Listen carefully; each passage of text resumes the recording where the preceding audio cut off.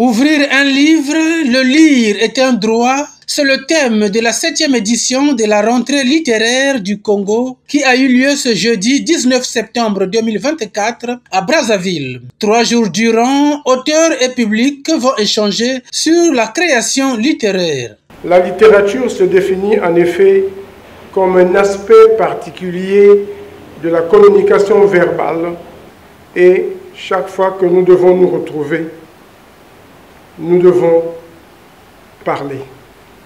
C'est aussi la communication orale, mais en dernier lieu, la communication écrite, qui met en lieu une exploitation des ressources de la langue pour multiplier les effets sur le destinataire, le lecteur ou l'auditeur. Placé sous la houlette du président de l'Union nationale des écrivains et artistes congolais, Henri Nzombo, ce rendez-vous est une possibilité de découvrir non seulement les nouveaux auteurs, mais aussi de rassembler les écrivains et d'encourager la compétition au sein de la littérature congolaise.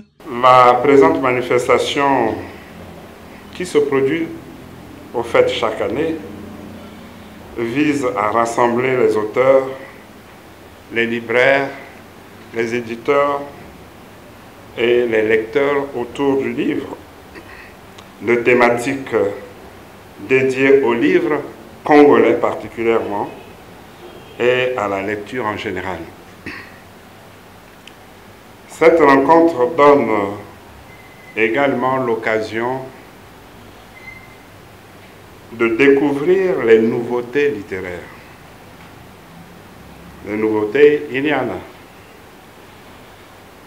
d'encourager la compétition entre les œuvres marquantes à travers l'attribution du prix Jean Malonga et d'assurer le brassage des écrivains des différentes générations.